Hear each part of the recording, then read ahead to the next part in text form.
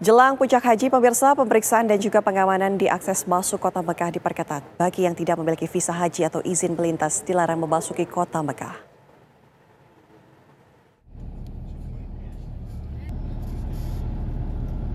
Pemeriksaan ketat dilakukan untuk mencegah jemaah non-visa haji atau tak memiliki surat izin untuk berhaji masuk ke kota Mekah. Penjagaan ketat juga dilakukan di sepanjang jalan dari Jeddah ke Mekah dan Madinah ke Mekah. Setiap akses menuju Mekah dijaga hingga berlapis-lapis. Kendaraan kecil maupun besar termasuk penumpang bus diperiksa di titik checkpoint memastikan dokumen yang dibawa resmi untuk berhaji. Warga negara asing yang tidak membawa visa haji dilarang masuk ke kota Mekah.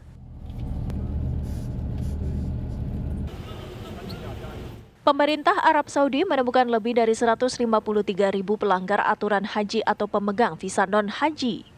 Otoritas keamanan di perbatasan kota Mekah telah memutarbalikan lebih dari 97 ribu kendaraan yang melanggar peraturan haji.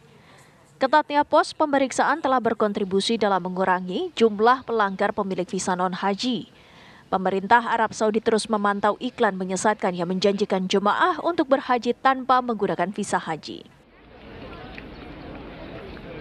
Dari Megah, Arab Saudi, Ika Wahyuni, Sumaya Adnan, Nurul Nurjana, TV One mengabarkan.